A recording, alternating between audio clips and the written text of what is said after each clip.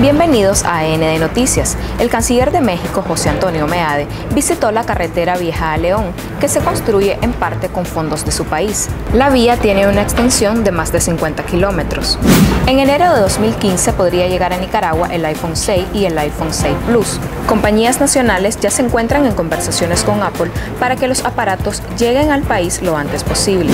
En Globo, Chile pidió ayuda internacional para investigar el atentado terrorista en el metro. 14 personas resultaron heridas luego de que una bomba explotara en un centro comercial ubicado en una estación del tren subterráneo. En deportes, Fran Riveri ya está recuperado de sus problemas de espalda. El francés podrá jugar con el Bayern Múnich el sábado contra el Stuttgart. En fama, un medio asegura que un doctor realizó a Joan Rivers una autopsia no programada cuando ésta cayó en paro cardíaco. La comediante falleció ocho días después del ataque que le dio durante una endoscopía. La clínica negó que se haya realizado la biopsia. Para esta y otras informaciones ingrese a elnuevodiario.com.ni y nuestras redes sociales.